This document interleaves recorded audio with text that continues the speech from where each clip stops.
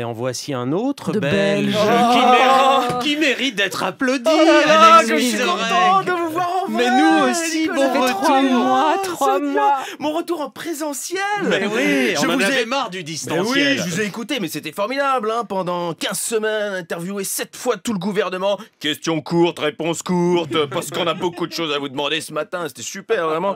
Moi, j'ai confiné euh, avec les autres comiques à 8h55, 8h55, on est allé chez Ali Rebei, euh, qui était super avec nous. Euh, je sais pas si les auditeurs ont apprécié, d'ailleurs, on sait jamais, parce que chez Ali Rebei, les gens n'écoutent pas, ils méditent, hein, c'est pas pareil.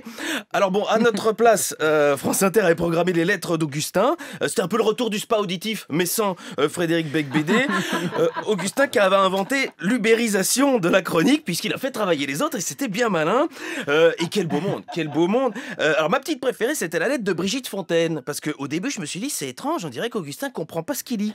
Et au fur et à mesure, j'ai compris que c'est sans doute Brigitte Fontaine qui avait pas compris ce qu'elle avait écrit, et du coup, c'était très joli. Mais surtout, depuis 15 semaines, il s'est passé tellement de choses et on n'a pas pu en parler.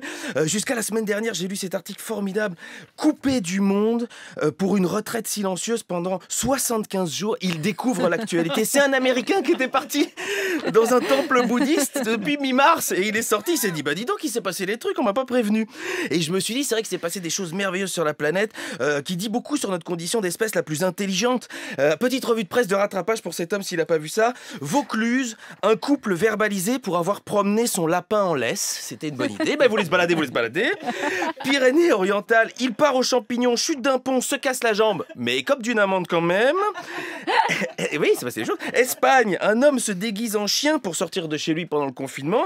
Et Angleterre, il s'échappe du confinement déguisé en arbuste. Espérons qu'ils ne se soient pas rencontrés. Alors, il y a eu l'attestation, c'était génial. Il n'y a que la France qu'on a, fait ça. À Cherbourg, euh, verbalisé pour avoir créé une case apéro sur son attestation. Bah oui, bah, pour une fois, le mec est honnête. Provence, ça c'est ma préférée. Un couple surpris en plein débat sexuel dans une voiture. Il avait coché la case activité physique. Elle avait coché course de première nécessité. Bon, bah oui, on peut pas leur en vouloir. Alors, il y a eu les remèdes miracles. Un Britannique affirme s'être soigné grâce au whisky et au miel, hein, sorte de Didier Raoult d'outre-Manche. En Iran, 27 morts euh, qui avaient pris de l'alcool frelaté. Vous avez voulu le miel. Alors évidemment, ils sont passés. Euh, info intéressante, la masturbation est conseillée pour renforcer notre système immunitaire. On s'est dit c'est bien, mais attention, Paris Match nous dit pourquoi il ne faut surtout pas se masturber avec du gel hydroalcoolique? Et c'est vrai que ah bah, certains avaient pu y penser. Euh, et puis il y a eu les annulations. À Paris, le salon du survivalisme n'aura finalement pas lieu à cause du coronavirus. C'était pas de bol.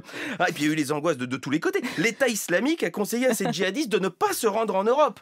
Et c'est vrai qu'on va pas se mentir, en matière de terrorisme, le télétravail, bah, c'est nul, évidemment. Et sans compter, en Normandie, à Sartibes et Bocage, à cause de l'épidémie, la soirée 1980 est reportée en 2021. On n'était plus à une année près. Et dans le Figaro, bah, l'article peut-être qui m'a le, le plus touché, euh, c'était une interview d'une personne que j'aime beaucoup, Léa Ah Salamé. Euh, oui, oui, vous avez dit les trois premières semaines ont été une souffrance absolue du confinement et tu m'étonnes, parler par Skype à Daniel Cohn-Bendit, Alain Finkielkraut et Alain Minck, ça n'a pas dû être évident. Mais tout ça est derrière nous, je suis de retour et je suis tellement content de vous avoir revus. Merci Alex et à mardi prochain.